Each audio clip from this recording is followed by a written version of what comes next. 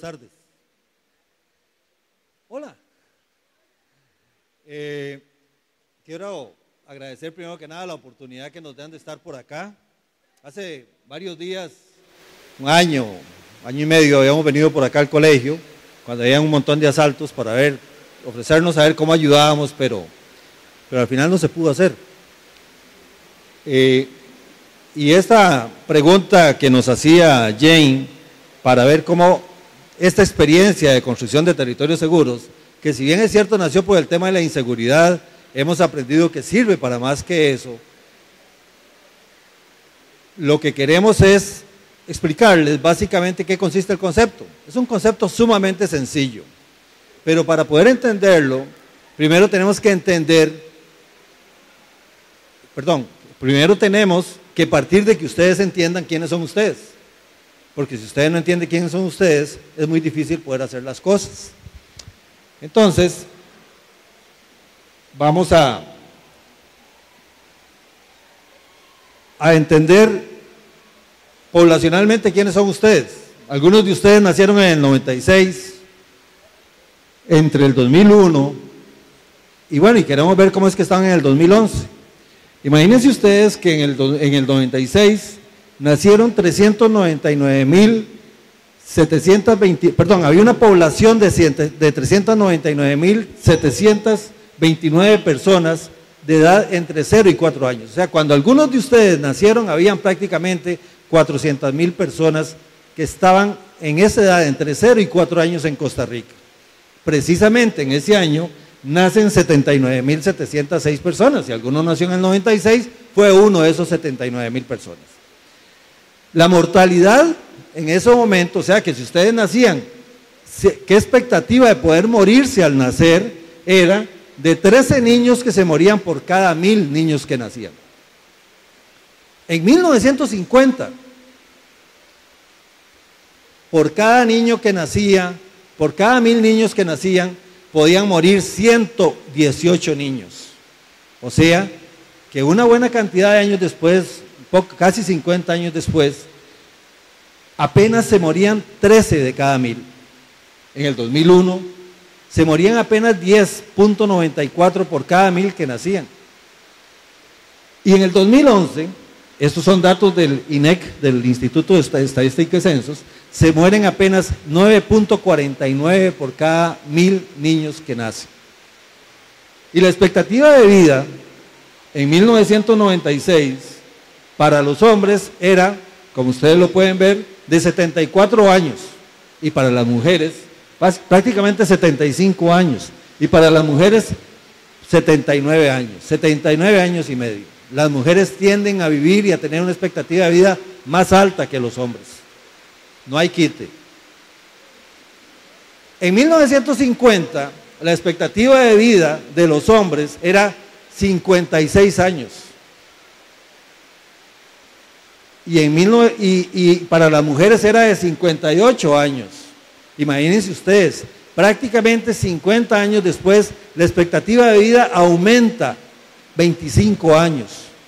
O sea, que las condiciones en que las personas viven mejoran y las personas pueden vivir más tiempo.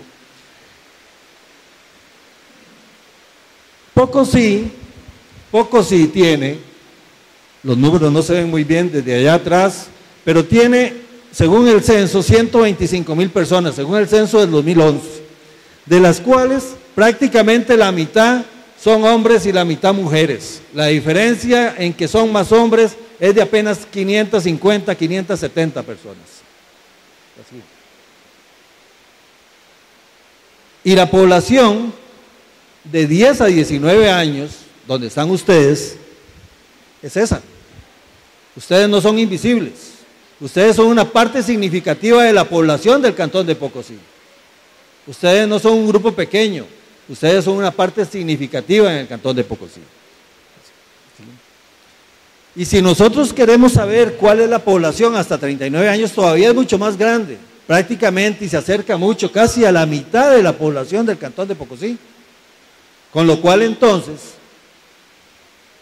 la perspectiva de cuál es la incidencia de ustedes y cuál es la participación de ustedes en la vida de Pocosí se vuelve cada vez más importante.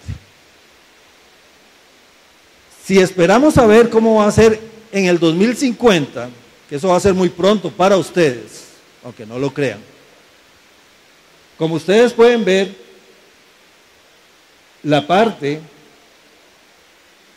rosada es la parte que los va a representar. O sea, cada vez va a haber a nivel de Costa Rica una población mayormente joven y va a significar también que ustedes los jóvenes van a tener una, una, acción muy importante. La siguiente, por favor. ¿Cuál es, ¿Qué es lo que tenemos ante esto? Entendamos.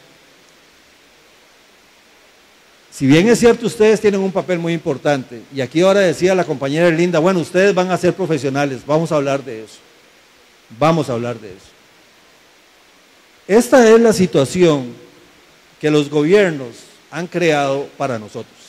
Y esta es la situación en la cual está toda la región de la provincia atlántica. Eso nos incluye a nosotros. Como ustedes pueden, pueden ver, la población de la provincia de Limón representa el 10% de la población nacional. Y la incidencia de la pobreza en nuestros hogares es mucho más alta en nuestra región que en el resto del país. Además de eso, pueden darse cuenta que la escolaridad promedio de nosotros en esta región es mucho más baja que en el resto del país. Pero además de eso, la tasa de desempleo, ustedes ven ahí dice 7.4 contra la perspectiva nacional que es 7.8, pareciera que andamos muy bien, pero andamos más mal. Lo que pasa es, y trayendo a colación lo que exponía ahora la compañera Erlinda, como las piñeras despiden cada tres meses a las personas, entonces aparentemente en las estadísticas hay una permanente contratación de personas, pero lo cierto es que no hay suficiente empleo en nuestro cantón. ¿Y por qué no hay suficiente empleo? Bueno, veamos. ¿Cuál es la calificación de la fuerza laboral? Ahí están los números, son números del Estado de la Nación, no es cualquier entidad la que lo dice, es el Estado de la Nación.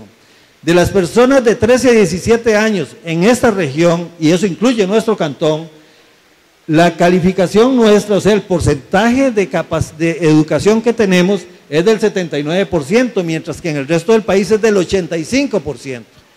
Pero después de que cumplen los 17 años, esa capacidad, esa calidad educativa, esa condición de conocimiento que tienen que tener ustedes, baja de 25 a 39 años baja al 29%, mientras que en el resto del país está en el 48%.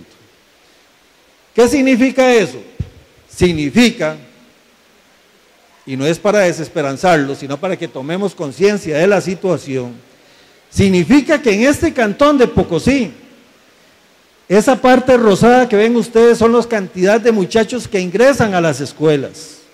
Y la parte amarilla que ven ustedes son los que realmente pueden graduarse en la universidad con un título.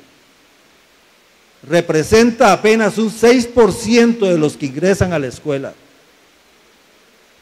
Y eso entonces nos mete a nosotros en una condición muy difícil, porque podemos soñar que vamos a hacer algo, pero hay una serie de trabas que nos las impiden, que no son ustedes, que no soy yo, que no es cada uno de ustedes. Hay un sistema que impide eso. Entonces, ¿cuál es la condición que vivimos en la región atlántica? ahí están, datos del Estado de la Nación muy sencillos. Si bien es cierto, la población de mujeres tiende a aumentar y tienen más expectativa de vida, son las mujeres las que más se ven afectadas por el desempleo. Son las mujeres las que menos oportunidades tienen de empleo. Véanlo, 12% de desempleo. Los hombres tienen un poquito más de oportunidad. El desempleo anda en el 5% en nuestra región. Y la tasa de homicidios en nuestra región, que sigue siendo de las más altas en, todo el país, anda en un 18 por cada 100 mil habitantes. Mientras que en el país anda en el 11.3. Eso no quiere decir que es que estamos menos que, el resto del país, no, es que ya para la, eh, la Organización Mundial de la Salud, una tasa del 11% es una tasa que implica un problema social demasiado grande.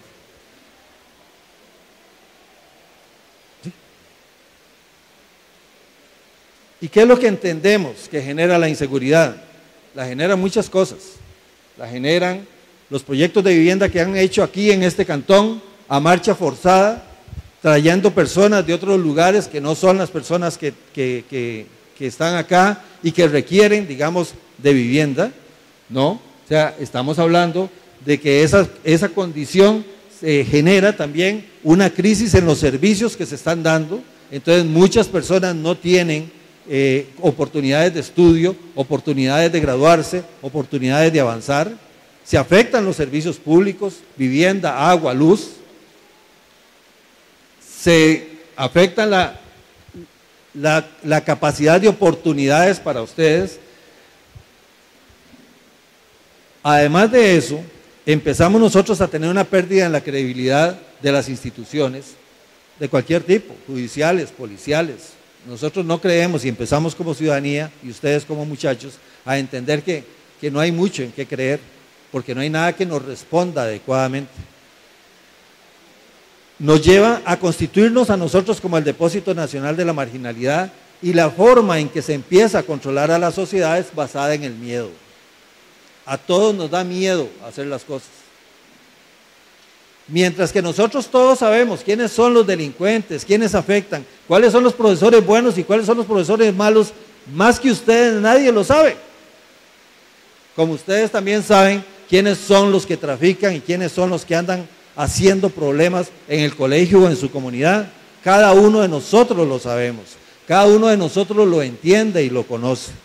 Pero ¿cómo hacemos entonces para dar el paso, para ser reconocidos con nuestra voz y poder entonces aplicar y cambiar la situación? El problema fundamental nuestro es la violencia. Y es una violencia que nace no de nosotros, porque nos quieren echar las culpas a cada uno de nosotros, cuando conocí a, cuando una vez vino aquí el, jefe de la policía, Juan José Andrade, ese día nombrado como jefe de la policía, vino aquí a Pocosí a reunirse con nosotros. Nos decía, para darnos una clase de seguridad ciudadana, que él venía de ser jefe de, de Alajuela y que entonces estaba ahí sentado en su oficina cuando entró una muchacha dando gritos porque la acaban de asaltar. Y entonces nos dijo, no con cinismo, sino con un convencimiento de que así son las cosas. Dice, pero hubieran visto esa muchacha en agua corta, tallada, tacones altos, con aretes, dice, ¿quién la manda a andar así? O sea, ella es la víctima y todavía tiene que pagar los rotos por andar así. ¿Dónde está la libertad y el derecho que nos compete a cada uno de nosotros? ¿Dónde están esas oportunidades? Y el problema es que entonces se quiere hacer culpable a la ciudadanía. Sigamos. Sigamos. Una de las cosas importantes es un estudio que hizo hace poco el anterior viceministro de Paz, Max Loría. Es un informe que entregó en febrero de este año a todo el país. Ese informe organiza todos los cantones del país en cuatro grupos. Ahí está el grupo número uno, que son los 10 cantones ganadores. Son los cantones que tienen una condición muy importante. Tienen la tasa de delitos más baja, tienen el mayor porcentaje de población mayor de 65 años, tienen eh, un promedio de población de 15 años, la menor población de 15 años, y además de eso, tiene la tasa de desempleo más baja. El grupo 3, en el grupo 3 es donde están los cantones perdedores. Ahí hay 10 cantones perdedores. De esos 10 cantones, uno es San José, el otro es Orotina, eh, perdón, Garavito, el otro es Quepos, el otro es Desamparados, cuatro. Y los seis restantes son todos los cantones de la provincia de Limón, donde Pocosí ocupa el segundo lugar a la eh, después de San José. Son los cantones que tienen más violencia, pero tienen más violencia porque vean lo que genera la violencia. Son, si bien es cierto, hay una tasa de delito más alta, hay también la mayor tasa de desempleo. O sea, que las personas cuando no tienen empleo genera un ambiente de violencia. Segundo, es la mayor, los cantones que tienen la población mayor de, tienen una mayor población de personas menores de 65 años. O sea que ustedes, la juventud, son la mayor población, pero no tiene oportunidades. Y eso entonces empieza y es un caldo de cultivo para generar esa violencia, que no es una violencia surgida de las personas, es una violencia que se denomina violencia institucional, porque son las instituciones las que generan y promueven esa violencia. Hay un elemento para medir los cantones que se llama el indicador de competitividad, cantonal. Todos nuestros cantones están en condiciones terribles en esa competencia cantonal y han estado mal. Entonces, si ustedes pueden ver, el caso de Pocosí siempre se ha ubicado en los lugares 58 y 68 de 81 cantones. En un momento determinado por la Contraloría estuvo calificada como el peor cantón del país en términos de administración y manejo de los fondos públicos. Y además de eso, todos nuestros cantones han venido cambiando. En la región ya dejamos, empezamos a dejar de ser una región productora de banano y piña, porque para información de ustedes, en estos momentos las compañías bananeras y piñeras están organizando su traslado a Nicaragua, porque es más barato producir en Nicaragua que producir acá. Y entonces eso va a aumentar los niveles de desempleo. Y entonces nuestra región deja de ser una producción agrícola para empezar a ser una agricultura, eh, perdón, una, una región y con cantones dedicados a los servicios, al comercio esencialmente.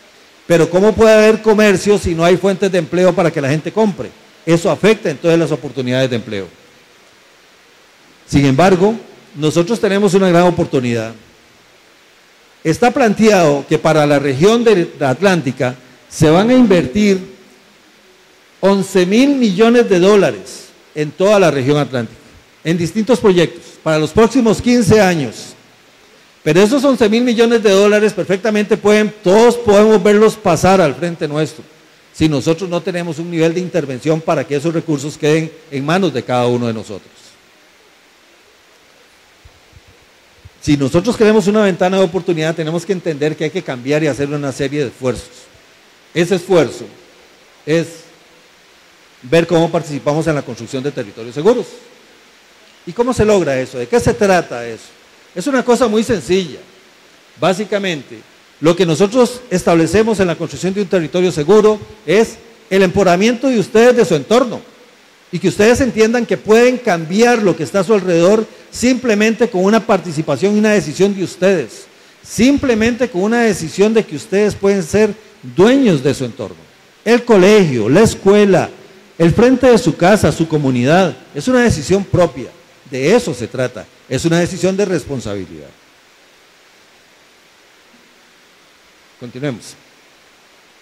El principio fundamental es ese, es entender que si nosotros queremos un equilibrio, ese triángulo tiene que estar invertido y nosotros tenemos que tener el poder de mantener ese equilibrio. Ese poder viene de la Constitución de la República. Ese poder está establecido en la Constitución de la República. Fundamentalmente lo que planteamos para manejar ese triángulo son esos tres elementos. La ciudadanía tiene que tener control del proceso. Tiene que haber una adecuada articulación entre los actores, empresa, ciudadanía, gobierno. Tiene que haber un proceso decidido de rendición de cuentas y tiene que haber una capacidad de medir el impacto. ¿Qué es eso? Básicamente es, por ejemplo, en este colegio, ¿cuánto dinero se invierte en educación? y cuál es el impacto, qué calidad de muchachos y muchachas estamos sacando una vez que concluye el bachillerato, qué oportunidades reales tienen de colocarse para ir a la universidad y dejar de ser solo el 6%, sino pasar a duplicar y triplicar esas capacidades. Eso es el impacto. Y eso se logra solo si aquí hay una buena educación. Cuando nosotros hemos preguntado en las comunidades, ¿qué participación tenemos en la toma de decisiones? Eso es lo que todo el mundo responde. Nosotros estamos excluidos de la toma de decisiones. Aquí son ciertos políticos y ciertas entidades las que toman la decisión. Y nosotros creemos que no tenemos derecho a participar en la toma de decisiones. Pero nosotros tenemos una responsabilidad muy grande en esa toma de decisiones.